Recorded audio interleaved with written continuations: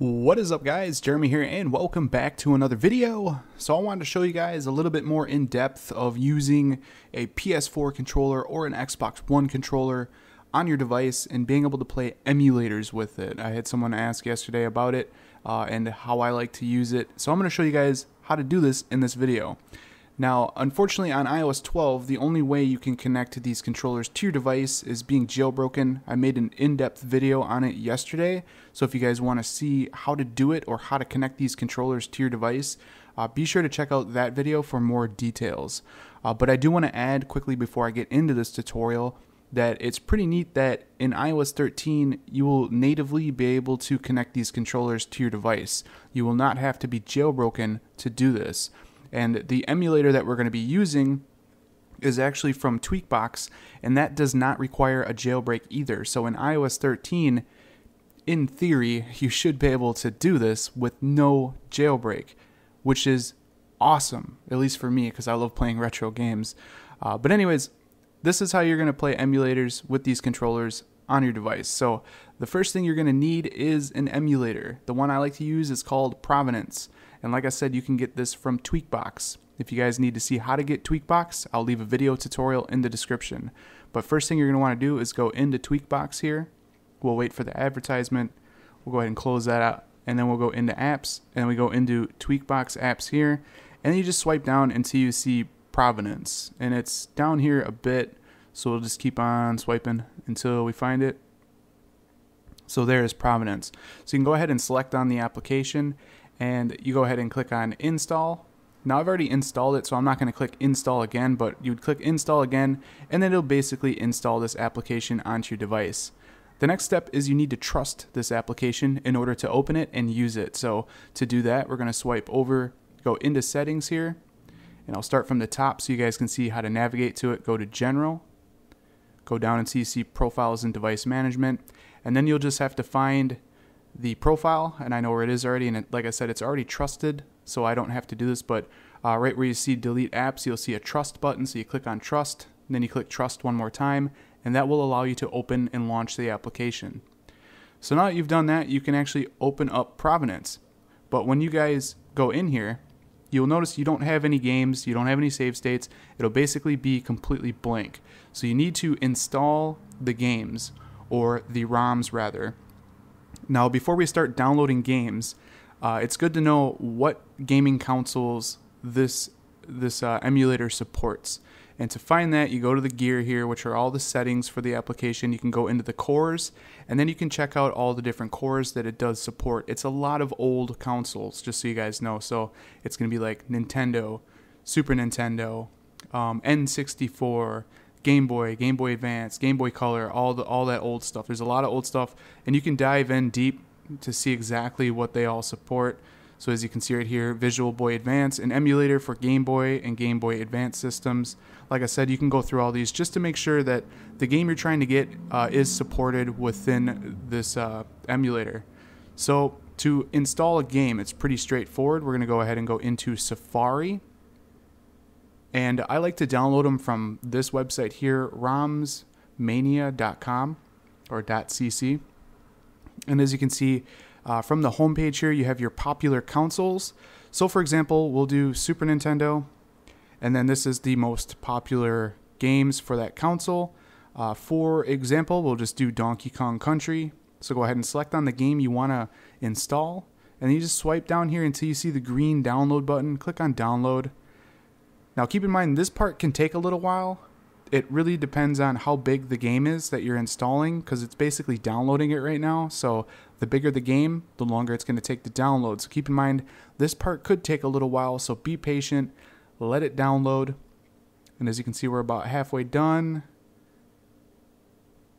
It should be done in just a second here. I've noticed that um, sometimes this part can take a long, long time. Uh, like I said, just be patient. Don't exit the application. Just sit here and wait until it downloads. It will download.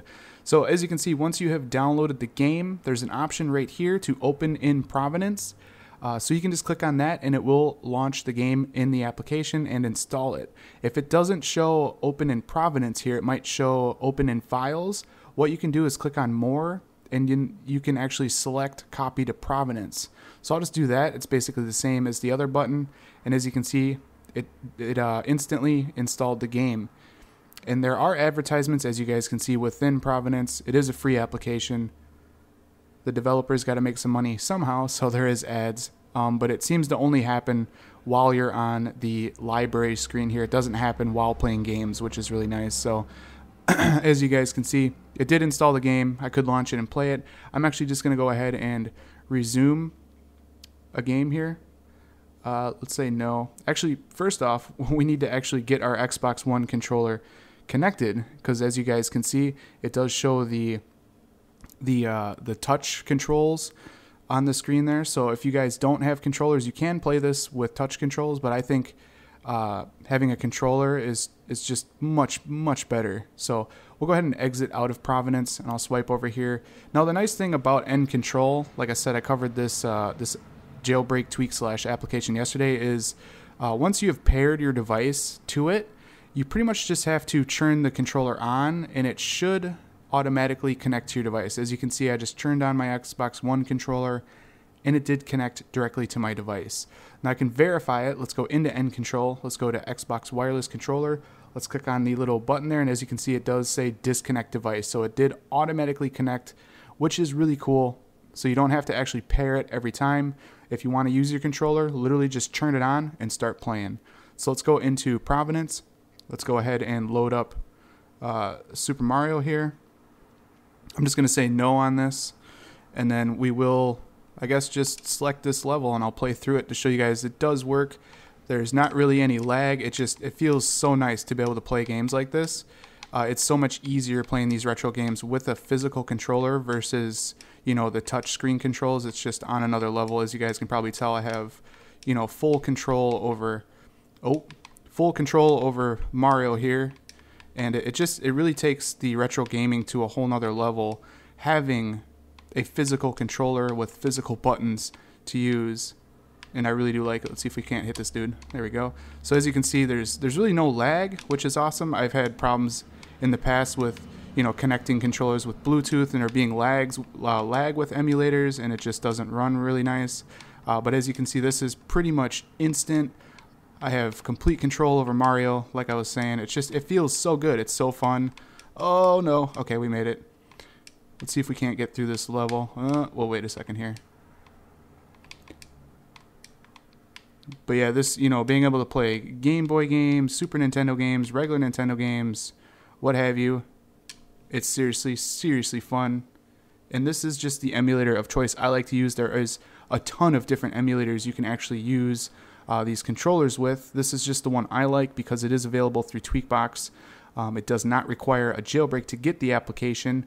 Of course, on iOS 12 to con- connect these controllers, that does require a jailbreak because we are using a tweak. But uh, in the future, though, with iOS 13, you should be able to do this with no jailbreak completely seamlessly and i think that is seriously awesome as soon as there is a ios 13 public beta i will be testing this out and making videos on it for you guys so stay tuned for that uh, but that's basically how you're going to run these controllers with an emulator on your device it's really, really fun, guys. Trust me. But anyways, I hope you guys enjoyed this video.